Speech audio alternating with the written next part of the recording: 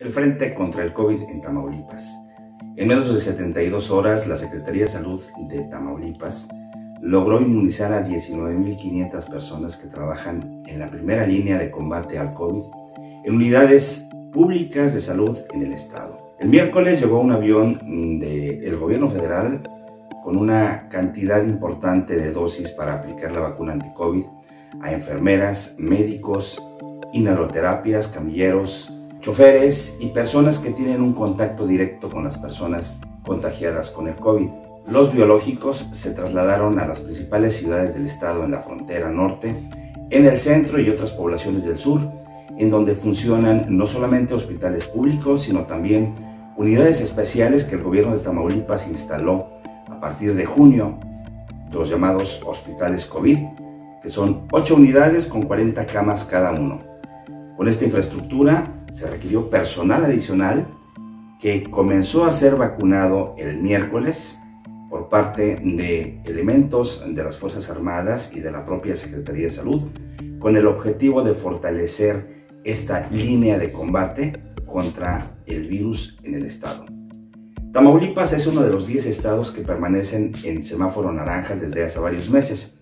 En el caso de la entidad, con más de 2.6 millones de habitantes, y una cantidad muy importante de contagios confirmados. Estar en semáforo naranja ha significado el cierre parcial de actividades económicas no esenciales. Cada mes se emite un decreto por parte del gobierno del estado con base en los datos del Comité Estatal de Salud Pública que analiza la tendencia y la situación en que se encuentra cada municipio.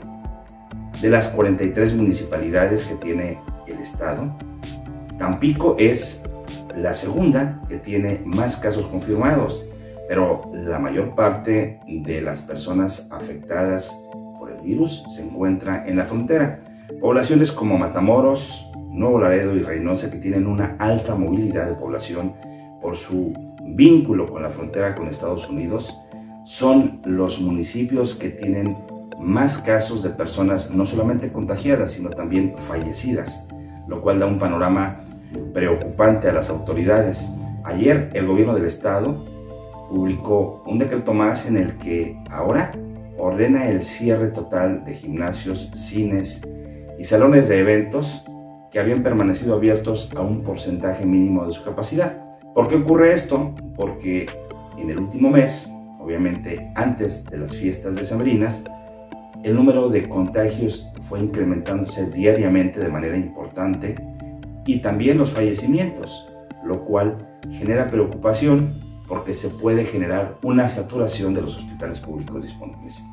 El hecho de lograr la aplicación de las 19.500 dosis de vacunas anti-COVID a una parte del personal médico que trabaja en el sistema público es algo notable porque habla de la eficiencia logística y del compromiso que se tiene para lograr este objetivo en el que se busca abatir, reducir y contener el avance del virus en Tamaulipas.